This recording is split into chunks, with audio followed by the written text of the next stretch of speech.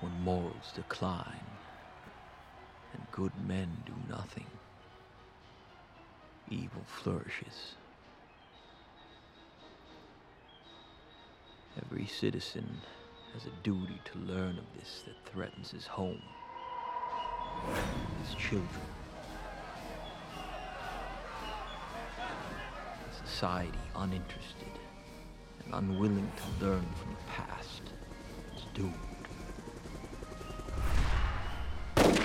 We must never forget our history.